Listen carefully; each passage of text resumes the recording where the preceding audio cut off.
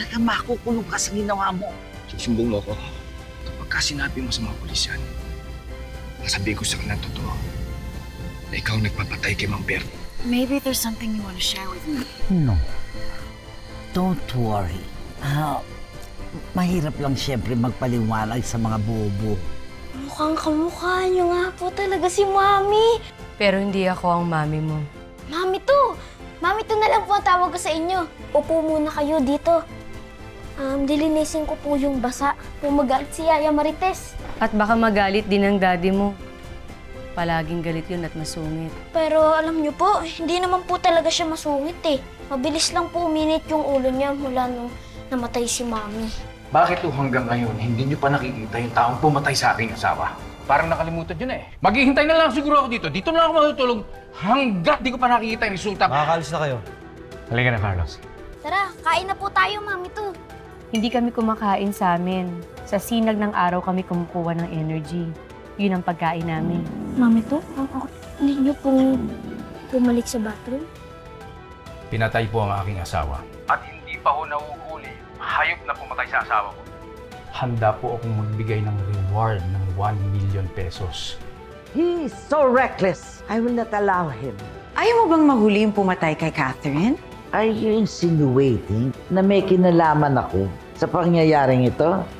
I've never resorted to violence and I am not a murderer.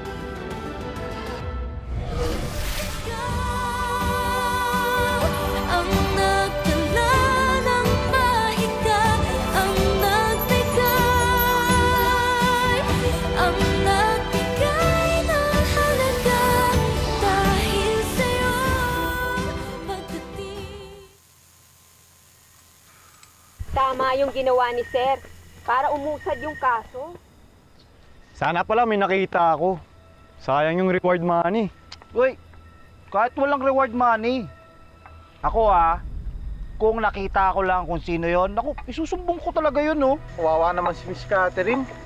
Pati yung pamilyang naiwan niya. Ang sabihin ninyo, sana mahanap na yung killer na yan. Para maparusahan na at makulong at nang matahimik na yan si Mr. Carlos. Wala na ako. Oy, Minggoy! Saan ka pupunta? Papakaramdam ko. Ano po yun? Isko, kailan kakain eh doon umalis?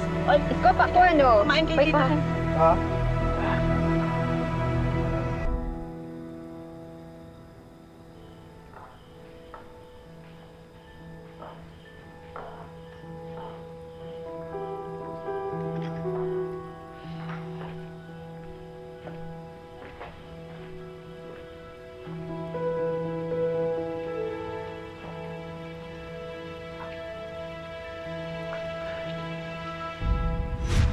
Kinatak mo ba ako, ha? Tita! Oh, Tita, what's going on? Diyos. What's going on? Tinatakot ka ba ng lalaking to, ha? Hindi. Tumawag si Detective Generoso. Meron daw silang nakitang person of interest na lalaki. You look really concerned. Of course. Manugang ko pa rin si Catherine. Why did Carlos do that? So reckless. Nagre-ready na ako ng dinner ninyo, ha?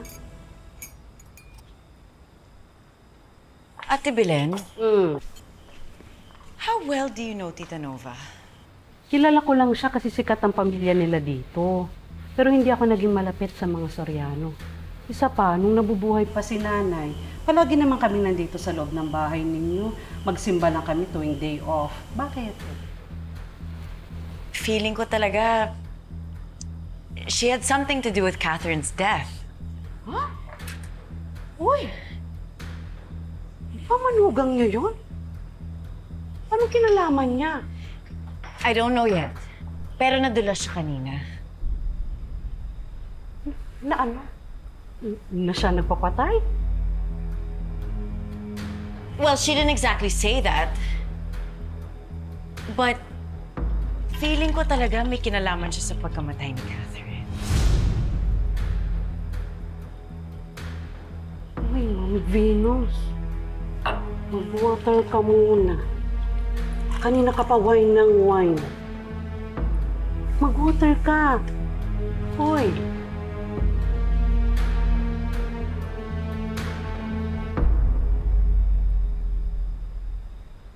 One box of tin foil, one roll of packing tape.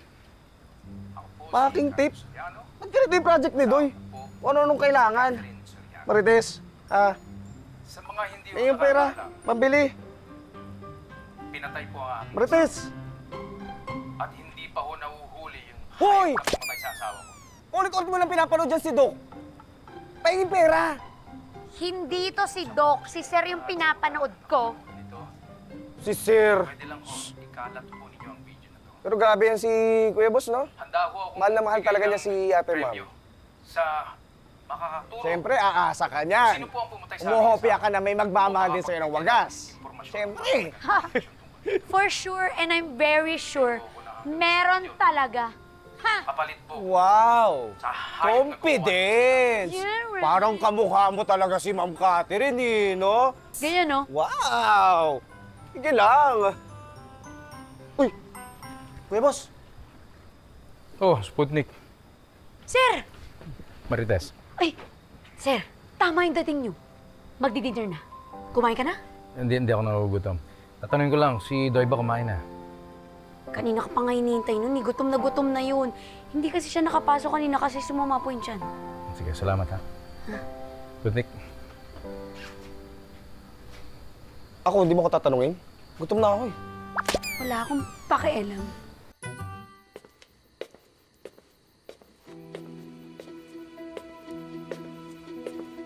Ay, oh. Lalabas ka ulit. Pupuntahan mo si Carlos. Sa ganda mong yan, parang wedding proposal para sa ang pupuntahan mo ah. We'll get there, Bilan. I'm telling you. Ngayon na wala na yung asawa ni Carlos, I can freely promote myself from business partner to life partner. And that's exactly what I'll do. Hinding-hindi ko napapakawalan yung man of my dreams.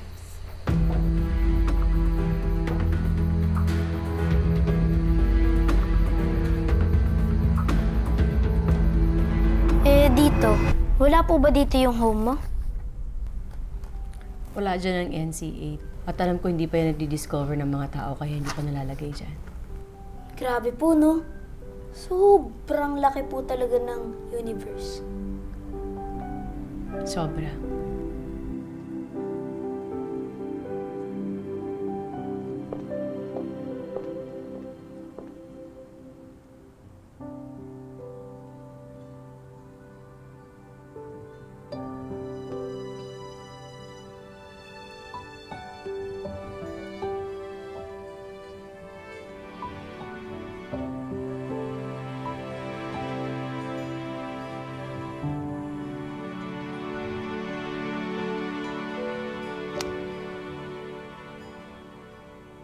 Ganyan po ba yung space?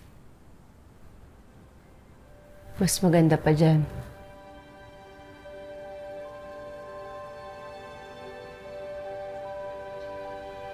Siguro po, miss nyo na po yung dating home mo, no? Siyempre po pati yung family mo. Pero mami to, huwag ka po mag-alala. Habang na hindi ka pa po nila nakokontak o hindi ka pa po nakakabalik sa planeta mo, ako po muna yung magiging pamilya mo. Kung okay lang po sa inyo, ah. Okay lang sa akin. Doy?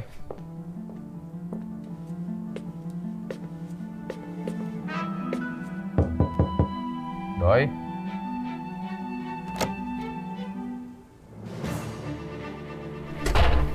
Hmm.